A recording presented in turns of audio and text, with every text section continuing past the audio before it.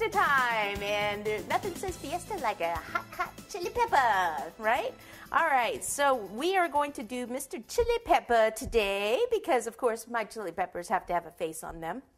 Uh, originally did uh, this for a friend.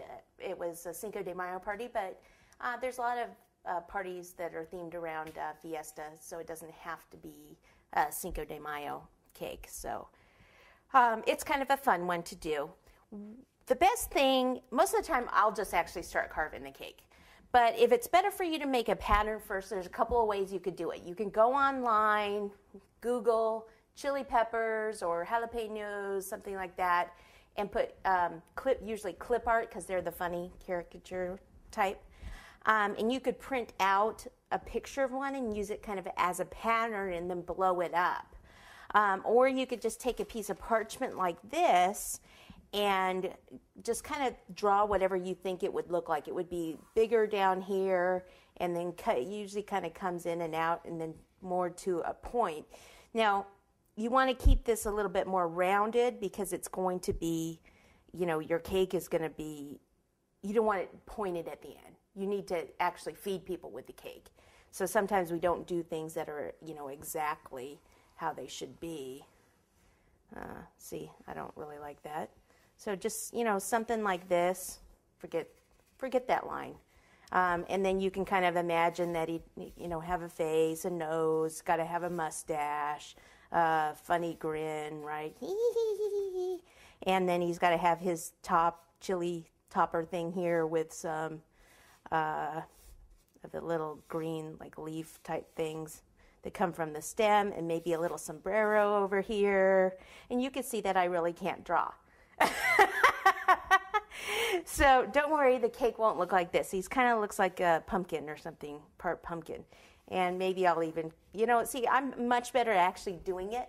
But if you're actually better at this and then following that, what you do is cut this out, then place it on top of your cake, and then go from there. I'm just going to start cutting and um, going for it. But that's something that you could do. Scary! All right.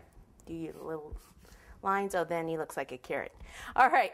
So this is how I bake my sheet cakes, okay? This is a uh, half sheet pan here. It's not a half sheet regular pan, right? You probably at home have a regular half sheet pan that's two inches high. This one's only about an inch high, and my cake actually baked up a little higher. It's okay. Just use a half sheet, two inch pan, and you're fine. That's why I have this separate little piece that I'm going to be adding here.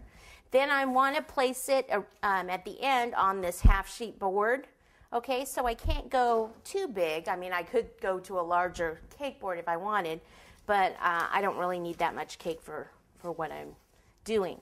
Now, this is just contact paper, so it's not food safe. So I'm actually going to go ahead and place the cake on here, carve it, and then cut it down. Okay, so I, let me just kind of move this cake, and he's going to be at an angle that way I can get more cake out of it. So I think I'll do actually this one first. So let me just grab my my favorite knife, a serrated knife. And I'm not going to use, I know I'm not going to use all that cake, so I'll save that for something else. Little pieces, landscaping, maybe some.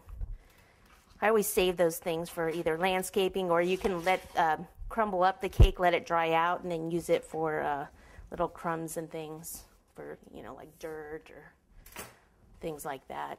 Okay, so it would be like that. Now for my cake, I actually flip it upside down and I've got this parchment paper on here because that's what I line my pans with parchment paper before I bake them.